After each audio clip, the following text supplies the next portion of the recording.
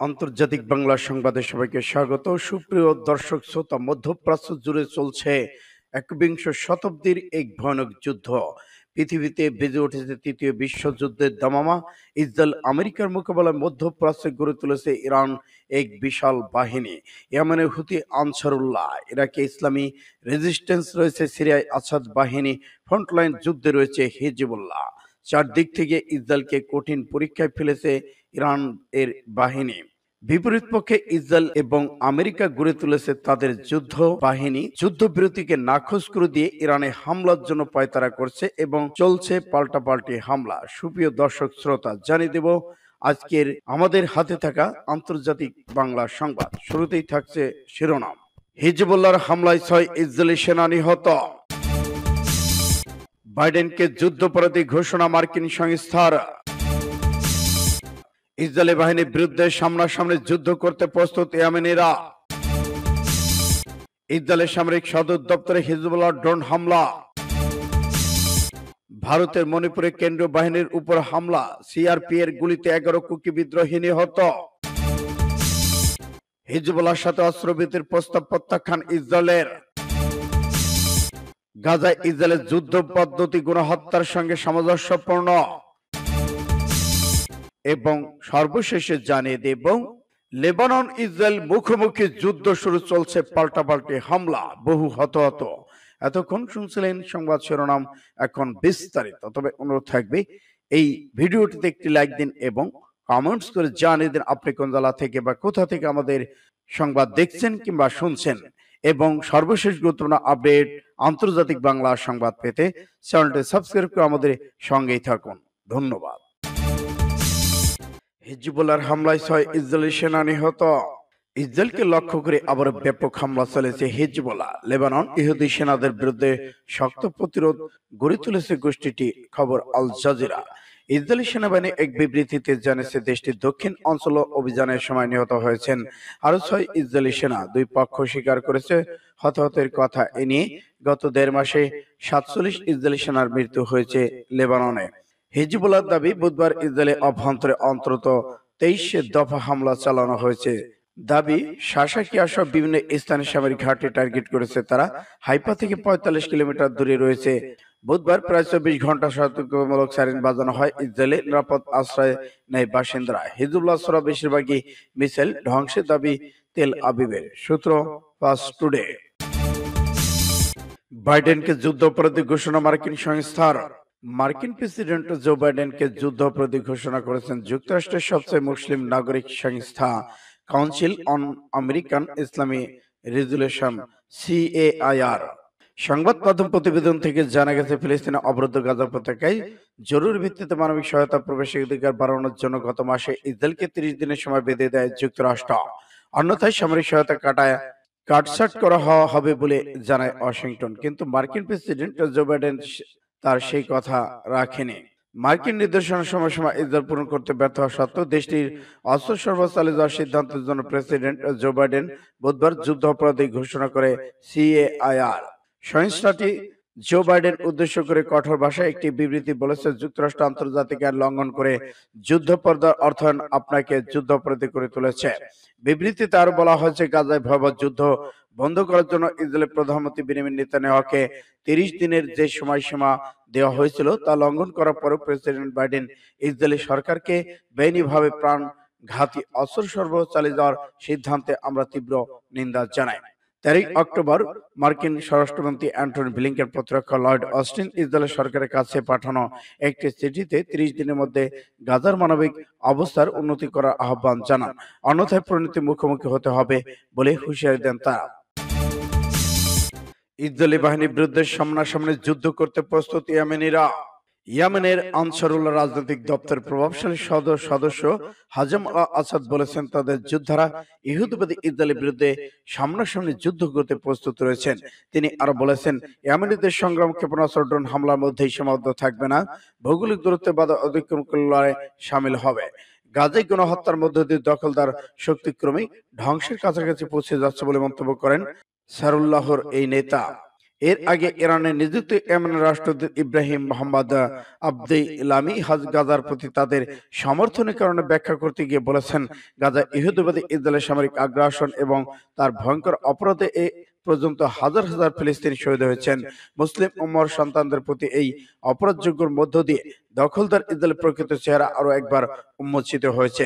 বিভিন্ন দেশ সংস্থা, আন্তর্জাতিক সংস্থার নিরাপত্তা সহযোগিতা, দুর্ভাগ্যবশত কিছু আরব মুসলিম দেশে নিরাপত্তা মিত্রতা ছায় এইসব অপরাধ হয়েছে।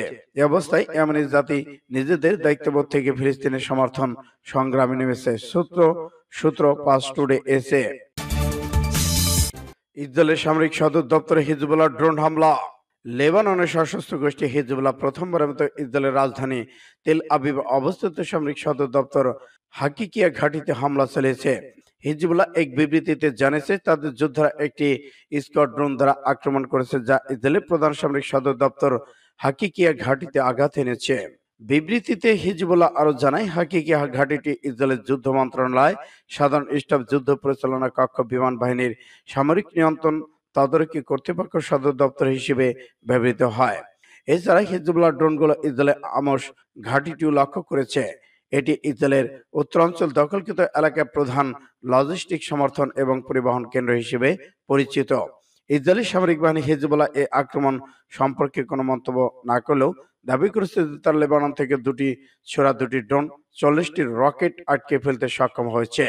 এদিকে ইসরায়েলি বাহিনী বলেছে তাদের কয়েকজন সেনা সদস্য দক্ষিণ লেবানন নিহত হয়েছেন। হিব্রু সংবাদ মাধ্যমগুলো বলা হয়েছে নিহত সেনা সদস্যের সংখ্যা আটজন। সূত্র ইন্ডিয়া টুডে। ভারতের মণিপুরে কেন্দ্রীয় বাহিনীর উপর হামলা, সিআরপিএল এর গুলিতে এগারো কুকি বিদ্রোহী নিহত। ফের অশান্ত হলো ভারতের অঙ্গরাজ্য মণিপুর। এবার কেন্দ্রীয় বাহিনীর সিআরপিএফ এর শিবিরে হামলা চালিয়েছে একটি সশস্ত্র গোষ্ঠী।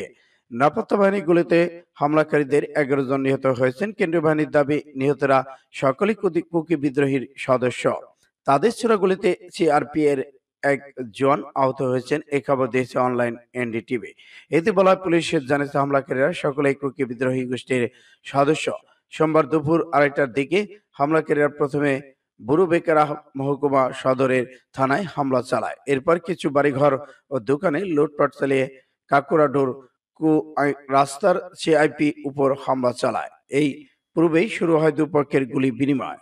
ঘটনার পর এলাকা ঘিরে তল্লাশি অভিযান শুরু হয়েছে। উল্লেখ্য, গতরাতে জিজিরাম জেলায় জারওয়ান নামে এক গ্রামে মেটে সশস্ত্র গোষ্ঠী আম্বারাই ট্রেঙ্গুল এবং ইউএলএলএফ এর যৌথ বাহিনী হামলায় কুকি মহিলা নিহত হয়েছে। পূর্ব ইস্তাম্বুল জেলা থামনা, পোকপি এবং ইয়াঙ্গা পোকপি সাবুখোক এবং শান সাবি সহ বিভিন্ন এলাকায় মেশিন গান, রকেট চালিত গ্রেনেড আরপিজি নিয়ে হামলা করে কেন্দ্রীয় বাহিনী ও পুলিশের উপর। সোমবার বিভিন্ন এলাকা থেকে দফায় দফায় সংঘর্ষের খবর পাওয়া গেছে। হিজবুল্লাহর সাথে অস্ত্রবিরতি প্রস্তাব প্রত্যাখ্যান ইসরায়েলের। হিজবুল্লাহর সাথে অস্ত্রবিরতি প্রস্তাব প্রত্যাখ্যান করল ইসরায়েল। লেবাননে অভিযান চালিয়ে যাওয়ার ঘোষণা দিয়েছেন দেশটির প্রতিরক্ষা মন্ত্রী। সম্প্রতি যুক্তরাষ্ট্র জাতিসংঘের উদ্যোগে শান্তি আলোচনার চেষ্টা করা হলেও আরও এক ধাপ উপরে নব নিযুক্ত প্রতিরক্ষা মন্ত্রী কার্যকর কোনো কোনো ধরনের প্রস্তাবকে ইশারা দিচ্ছে, দিতে রাজি নন তিনি। অস্ত্রবিরতি ইস্যুতে ইসরায়েলের কৌশলগত সম্পর্ক বিষয়ক মন্ত্রী রণ ডেরমারের সাথে আলোচনার কথা রয়েছে মার্কিন পররাষ্ট্রমন্ত্রী অ্যান্টনি ব্লিংকেনের। তবে প্রতিরক্ষামন্ত্রী কাজও আগে ভাগে জানিয়ে দিয়েছেন, হামলা বন্ধ হবে না লেবানন, সশস্ত্র গোষ্ঠীর বিরুদ্ধে। তিন দিনের সফরে লেবানন যাচ্ছেন জাতিসংঘ শান্তিরক্ষা মিশনের প্রধান under secretary general Jean Pierre ল্যাংকেংস দেখা করবেন দেশটির অবস্থানত ইউনিফিল সদস্যদের সাথে। জাতিসংঘের বিশেষ কমিটির প্রতিবেদন গাজা ইসরায়েলের যুদ্ধভিত্তিক গণহত্যার সঙ্গে সামঞ্জস্যপূর্ণ। জাতিসংঘের বিশেষ কমিটি গাজা ইসরায়েলের যুদ্ধের পদ্ধতিকে গণহত্যার সঙ্গে সামঞ্জস্যপূর্ণ বলে মনে করে। ইসরায়েলি আচরণ তদন্তের জন্য জাতিসংঘের বিশেষ কমিটি এ সংক্রান্ত একটি প্রতিবেদন প্রকাশ করেছেন। কমিটি মনে করেন, গাজায় পরিস্থিতির উপর কোনো বেসামরিক হতাহতের এবং জীবন হুমকির পরিস্থিতি ইচ্ছাকৃতভাবে আরোপ করেছে ইসরায়েলি সেনাবাহিনী। কমিটি এক সংবাদ বিজ্ঞপ্তিতে বলেছে, যুদ্ধ শুরু হওয়ার পর থেকে ইসরায়েল কর্মকর্তার প্রকাশ্যে এমন নীতি সমর্থন করে আসছেন, যার ফলে ফিলিস্তিনের জীবন ধারণের জন্য প্রয়োজনীয় খাদ্য, পানি ও জ্বালানির মতো অতি প্রয়োজনীয় জিনিসগুলো থেকে বঞ্চিত হচ্ছে।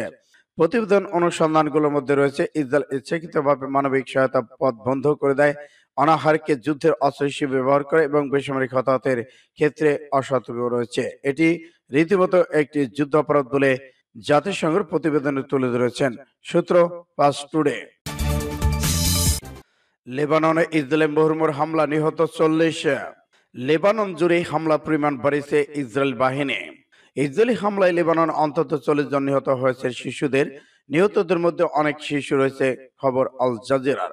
লেবানন কর্তৃপক্ষ জানিয়েছে, রাজধানী বুরিতে দক্ষিণ অঞ্চলে উৎকণ্ঠে ব্যাপক বোমাবর্ষণ চালিয়েছে ইসরায়েল। এছাড়া লেবানন স্বাস্থ্য মন্ত্রণালয় বলেছে শীষ নাগাদ উপকূল শহর টায়ারে ইসরায়েলি হামলায় অন্তত সাতজন নিহত হয়েছে। লেবানন কর্তৃপক্ষ বলেছে, উদ্ধার কাজ চলমান রয়েছে এবং হামলার পর মানবদেহের আরও কিছু বিচ্ছিন্ন অংশ খুঁজে পাওয়া গেছে। এগুলো শনাক্তের জন্য ডিএনএ পরীক্ষা করাতে হবে। বার্তা সংস্থা রয়টার্স জানিয়েছে টায়ারে হামলার চালনা পূর্ব মুহূর্ত শহরে বিভিন্ন অংশ খালি করার নির্দেশ দিয়েছিল ইসরায়েলের সামরিক বাহিনী। তবে সর্বশেষ হামলা চালানোর আগে এ ধরনের কোনো নির্দেশনা দেয়নি এদিকে লেবানন স্বাস্থ্য মন্ত্রণালয় জানায় গতকাল টায়ারে নিকটবর্তী শহরগুলোতে বিমান হামলা চালায় ইসরায়েলি বাহিনী এতে হিজবুল্লাহ আর মিত্র আলো আমল গোষ্ঠীর সঙ্গে সম্পর্কিত উদ্ধারকারী বাহিনীর সাত চিকিৎসক কর্মী সতেরো জন নিহত হন। এছাড়া একই দিনে ইসরায়েলি বাহিনী ঐতিহাসিক বালবেক শহরের আশপাশে পূর্বাঞ্চলীয় সমভূমিগুলোতে বিমান হামলা চালায় এতে অন্তত বিশ জন নিহত হয়েছে।